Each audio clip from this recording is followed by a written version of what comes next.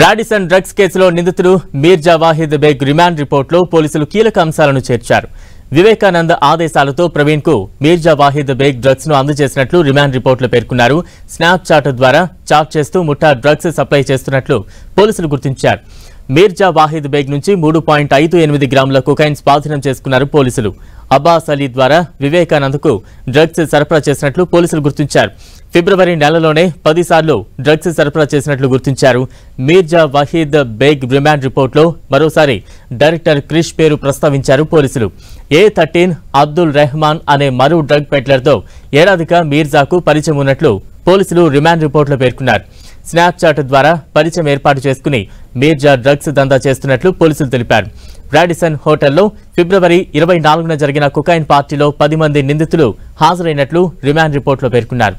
Drugs కేసులో నిన్న విచారణకు హాజరైన డైరెక్టర్ క్రిష్ స్నేహితుడు చరణ్ను కలిసేందుకు పార్టీకి వెళ్ళినట్లు పోలీసులకు తెలిపారు. కేవలం ముప్పై నిమిషాలు మాత్రమే హోటల్లో ఉన్నానన్న తనకు డ్రగ్స్ తీసుకునే అలవాటు లేదని చెప్పారు.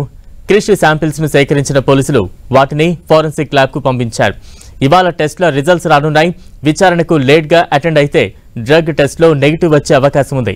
అందుకే నిందితులంతా విచారణకు రాకుండా తప్పించుకుని తిరుగుతున్నారు. లీషి గణేష్ కనిపించడం లేదంటూ పోలీసులకు ఆమె సోదరి ఫిర్యాదు చేశారు.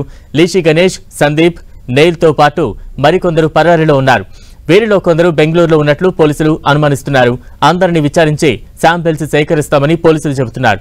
రాడిసన్ డ్రగ్స్ కేసులో పన్నెండు మందిని ఎఫ్ఐఆర్లో చేర్చారు పోలీసులు. ఇప్పటికే drug supplier Abbas drug peddler dollar వహీద్ను arrest చేశారు. అబ్బాస్ అలీ వహీద్ బ్యాగ్ బ్యాక్గ్రౌండ్పై పోలీసుల ఆరా తీస్తున్నారు.